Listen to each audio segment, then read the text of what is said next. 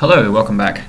No doubt when you have previously written for loops you have used a syntax something like this, uh, for example 1 colon 5, to generate a set of numbers within a range so that you could iterate over them in your loop.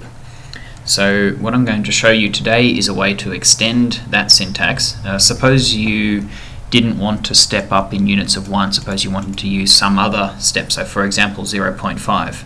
The syntax for that would be something like this. So 1 colon 0.5 colon 5. And so what you see now is that MATLAB has generated a vector which started at 1, which was our start point here, goes up to 5, which was our finish point here, in steps of 0.5. So there's actually another way that you can achieve a similar thing, uh, a little bit more convenient for some applications, and that's to use this function called linspace.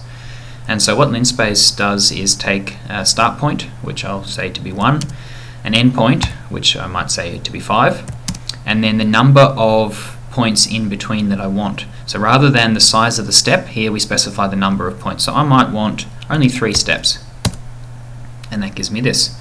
Or I might want 4 steps, and that gives me that. Or 5 steps, gives me that. So you can see how linspace is a little bit more convenient for, uh, for some applications, but it achieves the same thing as that colon notation which I've shown you above. One common application of the linspace function is to evaluate some mathematical expression over a particular range. And so let's have a look at that here. What I'm going to do is run through the development of uh, some code to do that.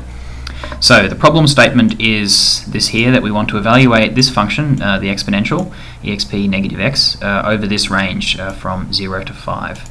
And so I've put down some comments here. Basically, this is how I'm going to code up my solution. So the first thing I'll do is generate the range of x values, uh, prepare an array to hold the result, and then I'll iterate through each of those values and calculate the result. So how can we do this first step, generate the range of x values? Well, that's our linspace function. 0 to 5. Let's say I want 100 steps in between, for example. Uh, prepare an array to hold the result. I'll just call it result, and I'll initialize that to an empty array to begin with. Um, iterate through each x value and calculate the result. So here we want to do a loop, and we know in advance how many items we're going to need. There's 100 of them. So a for loop would be a good choice here. Now what I'm going to do to make this uh, a little bit more general, I could write uh, for index equals 1 to 100, but then if I change the number 100 up here, I have to remember to change it down here as well. So what I'm going to do is this. This is uh, the number of elements. This function stands for numel, so the number of elements in the x array. And then I'm going to just calculate the result.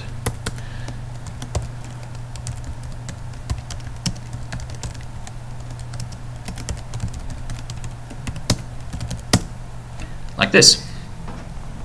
And so if we run this code and we have a look at what's in result, we can see that we have evaluated, there are a hundred of them, results of evaluating this function. So let's come back over here to our code. MATLAB's put a little warning here. And so what this means is that the array result here is growing each time I go through this loop. So what I'm doing is first of all it's uh, an empty array and then the first time we'll have one thing in it and then the next time we'll have two things and so on. It turns out that that's a fairly slow operation in MATLAB to resize the array each time. It has to do a lot of internally shuffling things around. So it's uh, much faster and here's the hint here, consider pre-allocating for speed. So it's faster if we specify the size of the array to begin with and just fill it with something like zeros for example. So there's a function that we can use here it's called zeros. Let's have a, have a look at it. So zeros takes uh, an argument or two arguments for the two dimensions of the matrix that it's going to generate. So if we did 3, 1, for example, then we get a 3 by 1, or if we did 3, 2, then we get a 3 by 2. So in our case, what we want is zeros, and we want it to be zeros of the same size of our uh, X array. So again, I could have put the number 100 hard-coded into here, but then if I change the size of the array, I'll have to change this spot as well, and if I forget to do that change, then I will have introduced an error. So I can actually write this to say I want zeros the same size as my X array, and run that, and we see the same result as before. Now, what I want to show you today is a way that you could have written this code much, much simpler. So let's let's have a look. We're going to do the same thing again using vectorized code. Let's have a look at what that would look like. So the first thing is we're going to take our range of x values, this one here, and then we can simply do this in one line like that.